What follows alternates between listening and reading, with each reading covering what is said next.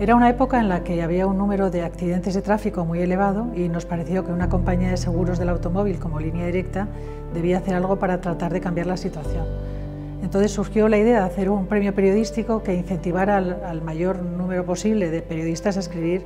sobre seguridad vial y de esa manera concienciar a la población de la importancia de una conducción segura. O sea que esta fue la idea, la verdad es que lo pusimos en marcha con mucha ilusión.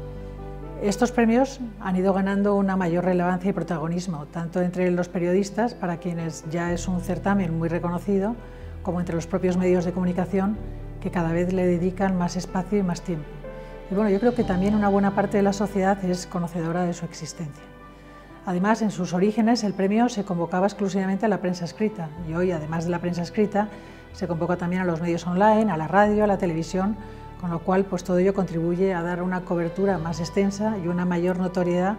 a lo que es el foco de nuestra atención, ¿no? que es la seguridad vial. En una de las ediciones pedimos al entonces ministro del Interior, Alfredo Pérez Rubalcaba, que presidiera el acto de entrega de los premios. Él aceptó, pero ese día había una votación importante en el Congreso de los Diputados y tuvo que quedarse hasta el final. Ni qué decir tiene que estábamos muy nerviosos porque además es que llovía cántaros y pensábamos que nos íbamos a quedar sin su presencia, que era muy importante.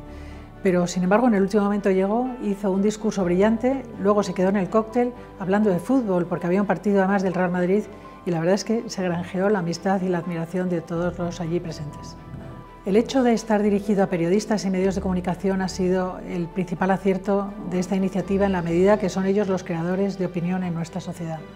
compartir con los periodistas la importancia de la seguridad vial e incentivar entre ellos la publicación de piezas informativas que fomenten valores como la prevención y la conducción responsable, creo que ha sido de una gran ayuda para que la cultura vial esté cada vez más arraigada en nuestro país. Y yo creo que estos premios realmente fueron un acierto y cada año que se celebran pues los veo más necesarios todavía.